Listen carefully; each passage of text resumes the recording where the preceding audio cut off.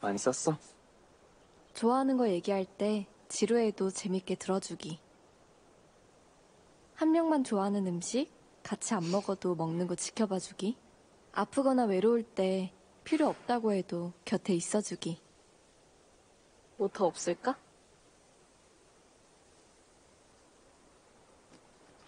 제일 중요한 게 빠졌네. 뭔데? 사랑해. 라고 말하기. 직접 말하니까 더 좋다.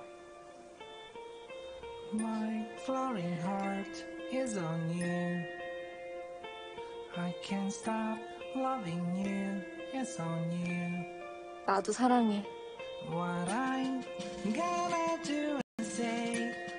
Maybe you could feel it. Trust your sense and my heart.